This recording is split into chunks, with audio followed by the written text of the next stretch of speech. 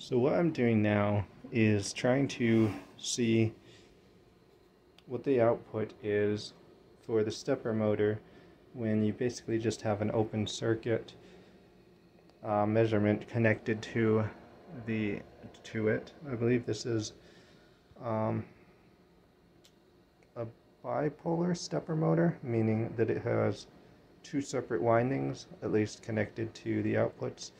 Um, you see two separate windings. And when you increment it four times, this seems to be the cycle that it um, outputs. So you have um, channel 1 with a larger spike negative, smaller spike, larger spike positive, and then a smaller spike positive. Whereas channel 2, you sort of have that same thing but shifted over one notch. So they're out of phase in that sense. And this should give a quadrature output for an encoder. The question is, how do you interpret that? Um, it's easy enough to interpret if you've just got set thresholds that you are looking for to reach. You would just use, you know, a comparator or a set of comparators. The problem comes when the motor spins faster, the output magnitude is proportional or related to, I, I, don't know if it's directly proportional, but it is related to how fast you spin the motor. So you can see a slow spin, kind of consistent, okay. Give the scope a minute. Slow spin is sort of consistent output. Faster spin, those output magnitudes change. And if you go really fast, it's just a cluster of spikes. So what I want to see is if you can still see what's going on even as you go faster. So it looks a lot more sinusoidal now, which this is interesting how you almost get ringing of the output at lower speeds and that ringing kind of isn't as visible or it disappears entirely at higher speeds. So I guess what I want to see is when you go fast to a stop. Yeah, this is what it looks like. And as we zoom in, you can see how these are still pretty much out of phase. It's still, I think, useful what you're getting out of this because you have, let's see if I can get a pointer. Um, you have your positive spike on channel 1 and then you know out of phase with that. I guess you would say 90 degrees out of phase I think. Um, out of 90 degrees out of phase would be the positive spike for channel 2 then negative spike for channel 1 negative spike for channel um, 2 and so that basically gives you all the information you need. The question is, can we come up with something that over here as well as the end can effectively differentiate those. Um, and you can see at the end it gets maybe a little bit more tricky. Actually, does it get more tricky? It's still clean positive and clean negative. So it may be just a matter of, it may still just be a matter of a voltage peak detector and you have to set that threshold high enough. Um, not a voltage peak detector, but a comparator with the threshold set high enough to where you won't get false positives. And I guess the uh, where you might get glitches is over here at the end where you've got small positive impulses um, and it's no longer easy for me to tell just by looking at this what's going on. I think what's happening is this was your last um, your last increment of that stepper motor and you have you know the small you know secondary response from channel 1 but channel 2 is really what is um, where the output uh, is coming from. So that's something to look at. A couple ideas are just basically a threshold comparator. You could do an integrator to ensure that there's um, you know voltage accumulated accumulated over a certain amount of time positive or negative voltage and then connect that to a comparator. I don't know if that would help very much for this. I guess uh, because if we increment this one more time let's just use the what I want to see is what are the peak voltage outputs. If we get a cursor, okay, so this is saying 18.5 volts. But a sort of minimal.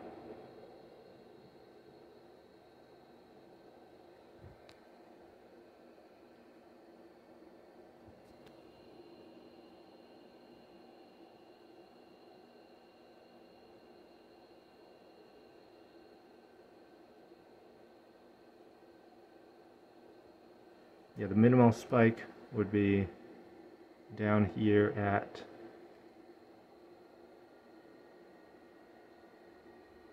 what is this 9 volts so you've got to have something that is high enough to see you know this 9 volt or low enough to see the 9 volt spike but okay this is just weird I take some time to get used to these controls. I'm not used to this type of scope.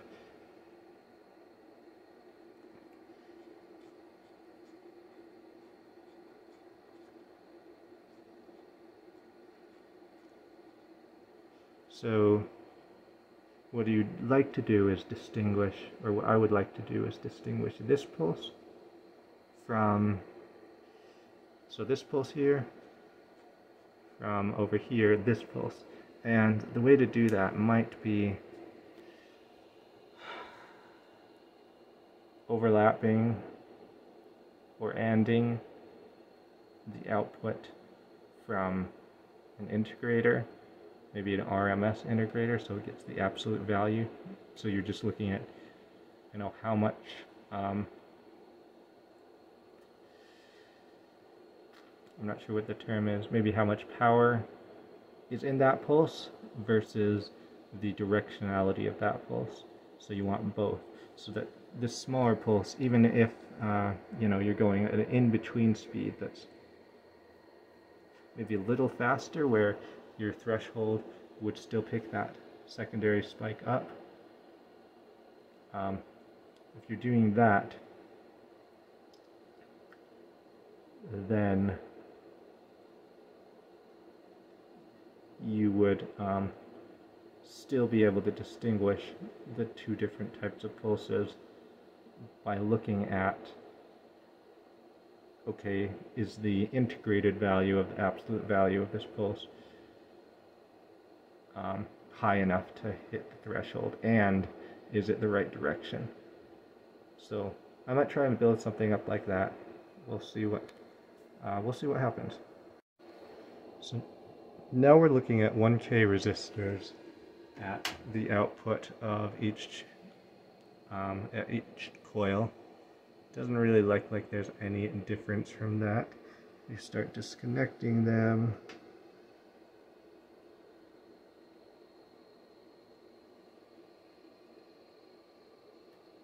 Like that. Okay, so it adds a little damping. I'm almost wondering if what's happening here is... Okay, I think maybe this is what's happening, is as you step forward, you can see how there's sort of a notching, but each notch is not, it doesn't go to the next notch and then stop, or the next step and stop. It bounces a little bit. Um, there's sort of a spring effect. And as it goes back and forth, that back EMF, well, it also um, move, rings up and down. So I wonder, I think that's probably why adding a resistor helps with that, is because it basically acts as a, a brake that's always on, you know. It's constantly absorbing energy from the stepper motor, which slows, um, which once you stop applying force, there's a lot less um, of the that ability to spring back and forth. Okay, I wonder if I may have just found the sort of sweet spot here. 270 ohm resistors on the output of each coil, or across each coil. Now we've got pretty well um, conditioned outputs. And it doesn't seem to get too crazy as you go up in speed. Yeah, the output amplitude, you know, increases a little bit once you get up there, but not too much. The uh, tricky part, of course, is what do you do here. So let's just let's just suppose this is our amplitude. What I want to do is get, okay, fine. So set our amplitude threshold, you know, down here, maybe right about there. It's pretty consistent. You can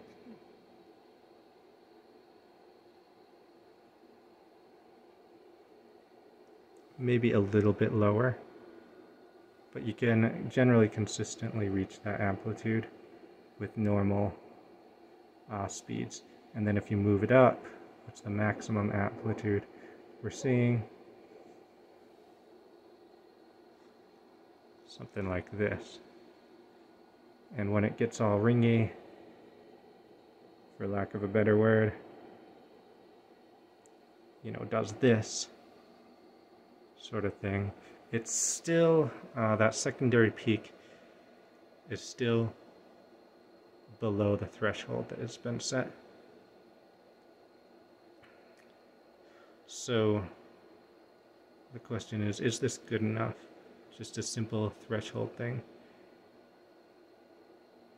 I'd like to know, okay, what exactly is going on here? Um, it looks like you've got, you know, your primary peak, so that's position one, okay, and then the second um, channel peaks, so that's position two, and then I guess there's a sort of gap, which is interesting how 1 and 2 is right next to each other, and then 3, negative channel 1, and then 4, negative channel 2. How there's a gap between those two. I guess it just has to do with the mechanical.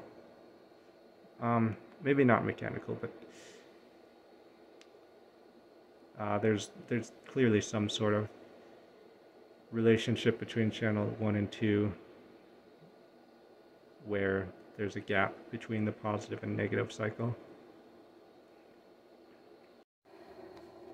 Okay, so something that's quite interesting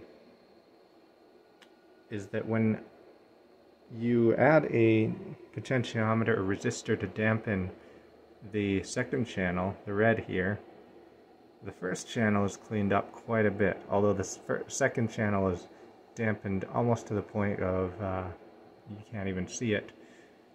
The first channel really um, is looking quite clean. And of course, when you take that uh, take that damping off, then now you get the ringing in the first channel. So it's interesting that I guess what I would probably say is mutual um, inductive coupling or something like that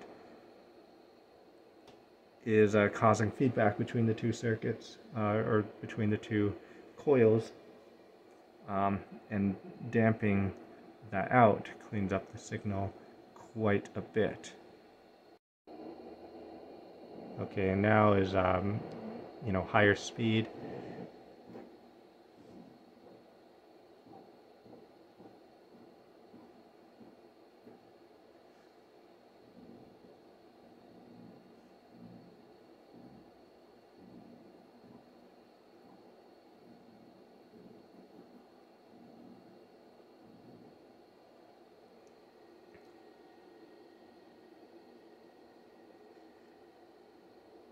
So there's that. Alright, purely out of curiosity, I decided to add um, a couple of diodes in reverse configuration. These are 4007s, 1N 4007s, and just to see what would happen. And it looks like pretty interesting. If you go at a slower speed, the um, it acts very much like an encoder where, well, what you do see is the spikes are aligned vertically with it or horizontally with each other, which is interesting. That's something new. Um, and it looks a lot more like an encoder output where there's no negative spike, there's no coupling between um, coils as far as I can tell. Now it gets a little messy up here at the higher speeds, but there's still pretty clear distinctions between positive and negative uh, cycles. Although just just because okay as I say that I'm okay so this is up down up up down, up, and down, down. So I guess the trouble is that the secondary spike is a little harder to see. Uh, oh, sorry, the second, yeah, like one of the spikes is harder to see than the other. Um, it's not as high in magnitude. You can see like right here, that is Let's move the cursor over there just to see. That is actually a down spike from red, but the magnitude isn't very high. So in this case, um, you would get sort of double triggers, or you would miss triggering because like up here you can see how that doesn't return to zero volts before being retriggered and that's not what we want. Okay, so now I have the diodes connected along with the uh, 270 ohm resistors I think this may be a winner because as you can see. Okay what's going on? Let's just bring this level down. There we go.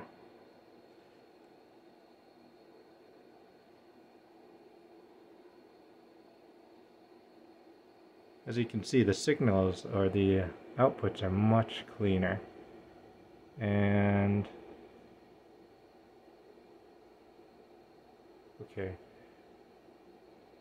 So the trouble still I think is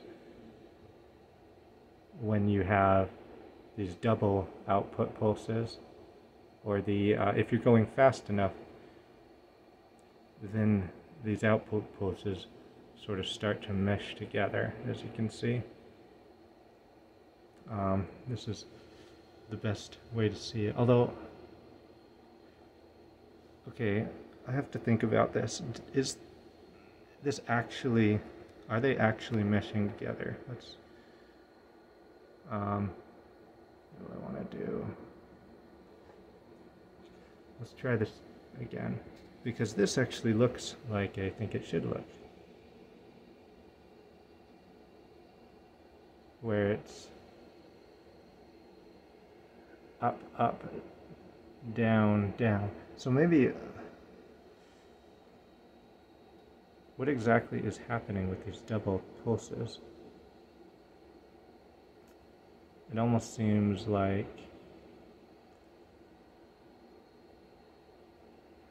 like here, for example. Hmm.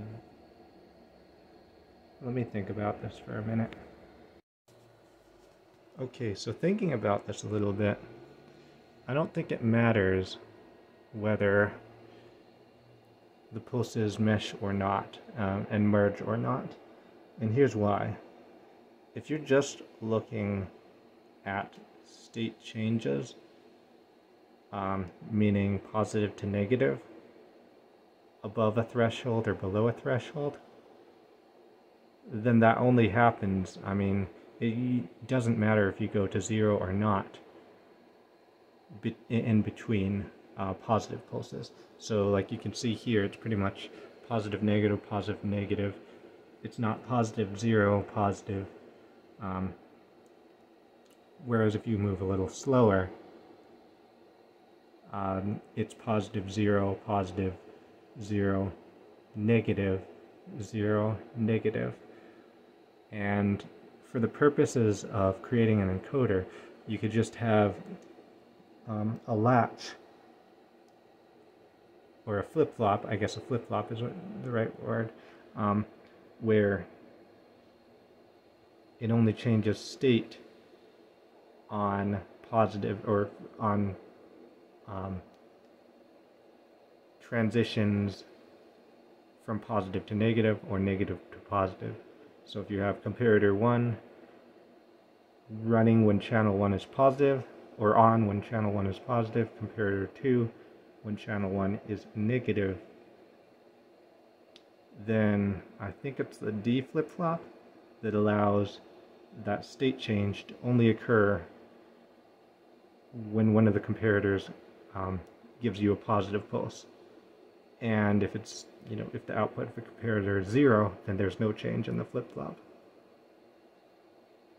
Um, so with that sort of scheme, I think this would work quite well because, you know, if you're, you know, you've got space between pulses, it works and when you don't have space between pulses it also works and when they're sort of meshed in between like this where it makes a half transition to zero and then goes back to positive it should still work so that's what I'm going to do I'm going to build up a circuit that looks like that um, work through the logic make sure that's alright and then build up a circuit with uh, different thresholds right now it looks like there's a pretty I, I guess that's the last piece is is the threshold consistent? And I think the answer is it's consistent enough. Um, you can see uh, got about uh, 850 millivolt top, and if you go slower, it's about that 850 millivolt. If you go as fast as you can, it's uh, the diode seem to be clamping it pretty well to that 850 millivolts. So that's what I'm going to do. I think uh, probably I'll play around with their threshold voltage. And this oscilloscope may not be accurate um, voltage-wise, so I may have to uh, do some tinkering I think, uh, you know, this oscilloscope's pretty out of calibration. So 850 millivolts on this oscilloscope may not be actually 850 millivolts. Okay, so here's a look at uh, my scratch work or the uh, just diagram of what the circuit should look like. Um, the what I've done is okay. So up here, basically, what you have is this is your input signal, one, uh, just one coil, not both coils. Um, so you have you know positive, positive. Okay, actually, this is both coils, but just looking at one coil, this is positive um, 0 positive, 0 negative, 0 negative. So what we're looking for is only on these state changes from positive to negative do we want to change. And then coil 2 we'll worry about later. Basically, whatever the circuit is for coil 1 will be a duplicate uh, for the coil 2 circuit. So if we set this to you know half of your supply voltage or somewhere in between it doesn't even have to be half I'm saying let's set it to 3.3 volts so you can just use a linear regulator for that and then a 5 volt regulator for the logic uh, power you have your coil here and then you have two comparators one has a threshold voltage of 2.8 volts, which is 500 millivolts over under the 3.3 volts, and um, this uh, basically goes positive when the input voltage is below. The 3.8 volt comparator is 500 millivolts above this 3.3 volts, and it goes positive when you're above that 3.8 volt threshold voltage. So one comparator, basically, uh, this comparator basically goes positive when you see or has an output of 1, a high output when you have a positive pulse, and this negative comparator goes high when you have a negative pulse. And so what you do is feed that into the SR latch. I know I said it was a D flip-flop, I think, before. Uh, my digital logic is rusty, so I got that wrong. It's actually an SR latch that you want. And what you have is uh, the SR latch, just to look, show you, this is the truth table for the SR latch. Basically what it says is when both inputs are zero, it doesn't do anything. It just holds its state. When the reset state is one, um, the output goes to 1. When the um, set state is 1, the output goes to 0. And when they're both 1, the output is 0. And this should never happen at the same time to where they're both 1, so we shouldn't have to worry about that. It's basically these three states where it changes output based on that. And um, I think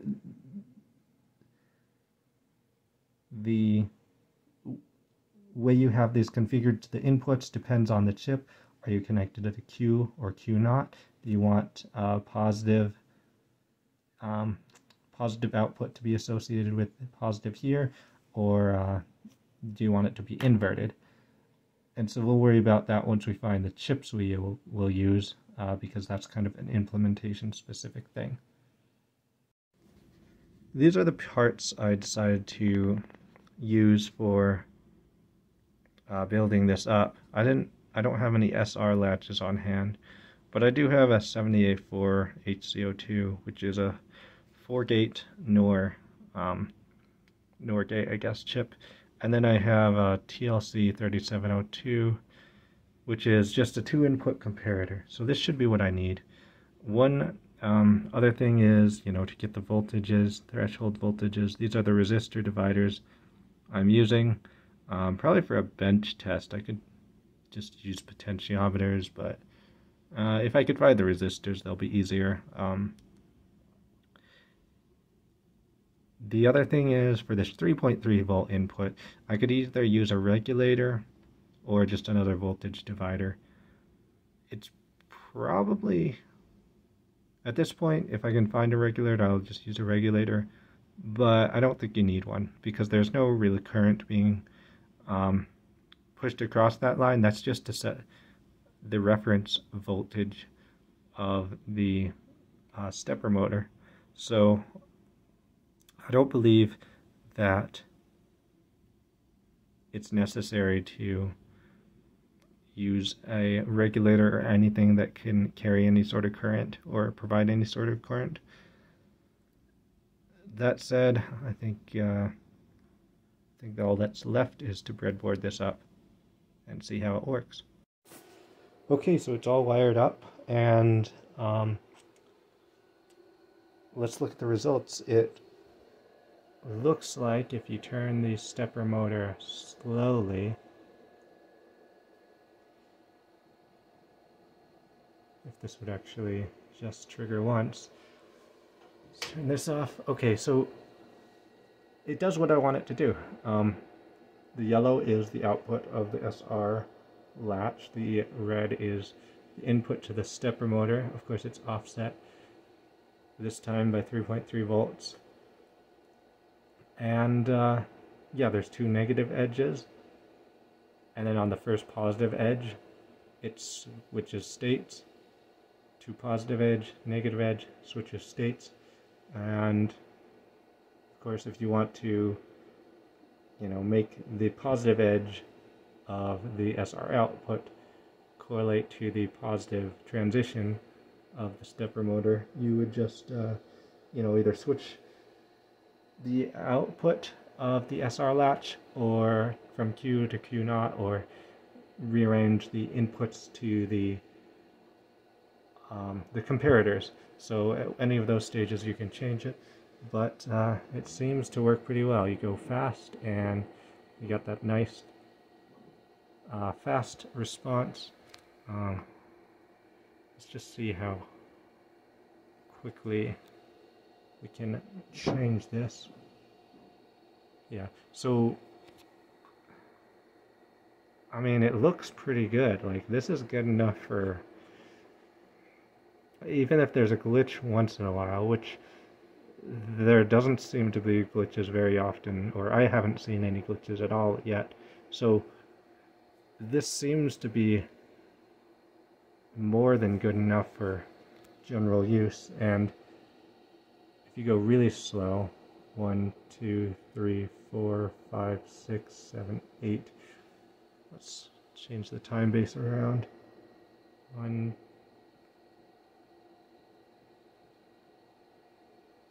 I mean, it doesn't matter how uh, fast you go or how slowly you go, which is was my big concern with this, is that you would not be able to pick up those small impulses. Right now I'm changing this about every half second, and look at that, right on, right on the edges. So this, I'm going to go ahead and use this for one of my projects. And uh, that'll be kind of cool to see you know stepper motor being used as a knob. The one downside about this is with the 270 ohm resistors and the uh, two opposite diodes this is kind of stiff which maybe in some applications you like that it's not going to work very well in applications where you don't want that stiffness so there's that uh, the you know, what's left to implement the rest of this is you have to do the second half.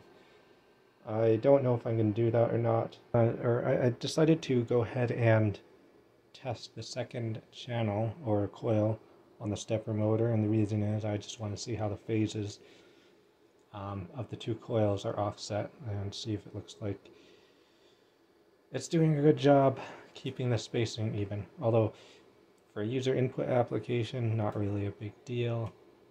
Um, you don't care so much about getting, you know, millisecond precise input of your um, sensor or your device. So let's go ahead and see what we get here.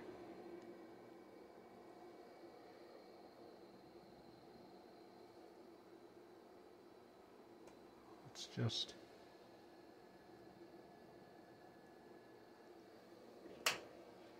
Okay, uh, the volts per division are off. Okay.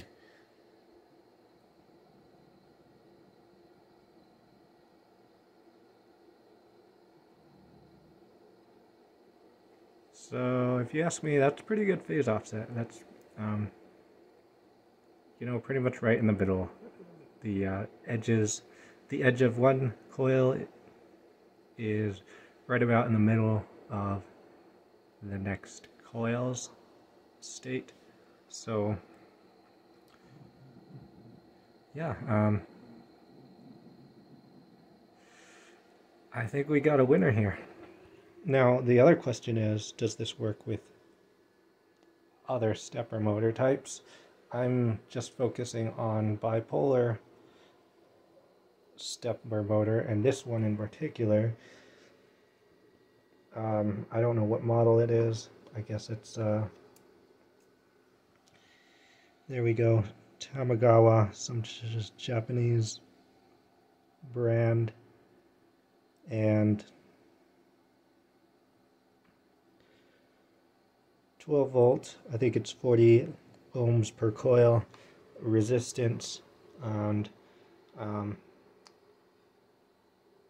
it's a fairly large stepper motor, not the smaller, more common type. I don't know what the NEMA standard is.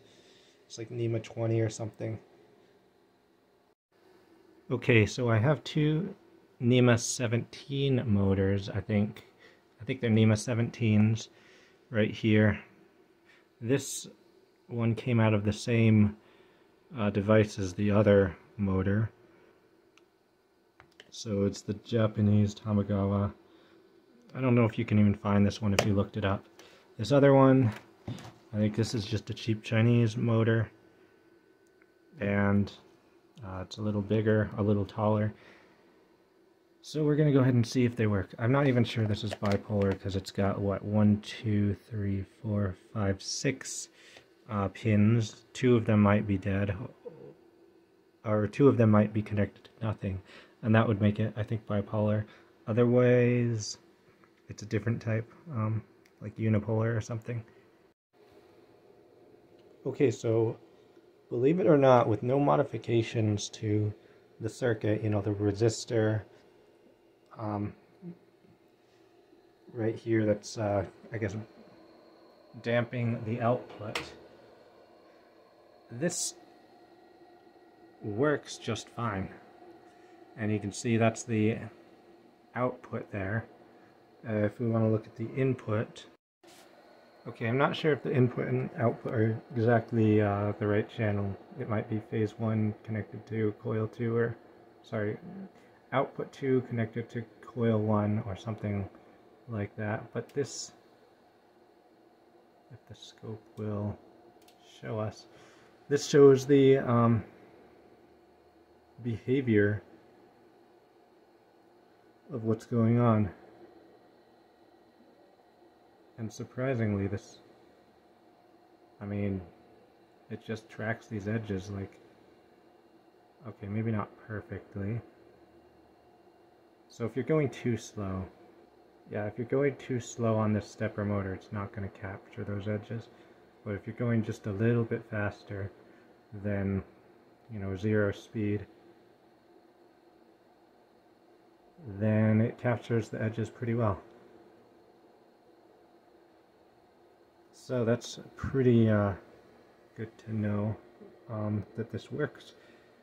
And when I said I would be using this um, in a project, it's going to be a soldering iron controller, and rather than an encoder, mechanical or optical encoder knob, we just have a stepper motor knob on there, and uh, we'll see how that feels. I think it'll feel pretty good because I kind of like the way I mean, it'll probably feel higher quality than, you know, your cheap $2 mechanical encoder knob. So that's it for this. Um, I'll see you later.